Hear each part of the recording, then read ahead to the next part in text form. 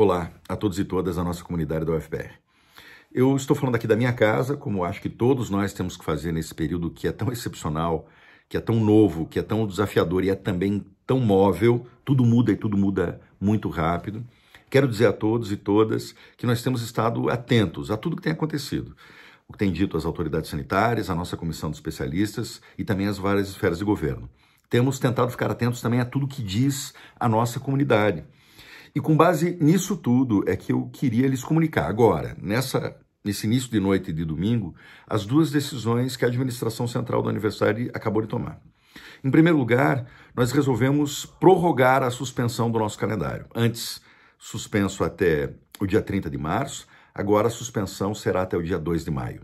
Por quê? Porque esse é um horizonte que, do ponto de vista epidemiológico, as coisas não vão mudar. É um período em que o isolamento social se faz mais necessário do que nunca, mas é um período também, me parece, em que cada um tem que se adaptar a essas circunstâncias novas. É um momento de acolhida, de solidariedade consigo mesmo, com os seus, com os seus vizinhos, com a sua comunidade. Eu acho que a, todos nós da comunidade universitária temos que ter esse horizonte um tanto mais confortável, sem criar uma expectativa de que algo possa mudar no momento em que todos nós estamos nos adaptando. Em segundo lugar, eu quero dizer que aquele início de conversa que tivemos sobre a eventual retomada do calendário letivo, com atividades remotas e com exercícios domiciliares, pois bem, essa é uma discussão que nós queremos fazer com mais tempo. A complexidade da nossa universidade, a diversidade de leituras sobre isso, a necessidade de respeito à autonomia docente nesse debate e, sobretudo, necessidade de levar em conta as largas parcelas discentes que não ainda têm a inclusão digital, dada a sua vulnerabilidade socioeconômica, pois bem, tudo isso exige mais tempo, mais maturação, um diálogo mais capilarizado, precisamente numa fase, aliás, em que fazer o diálogo com a nossa comunidade tem sido um grande desafio. Nós não queremos tomar nenhuma decisão apressada e assodada.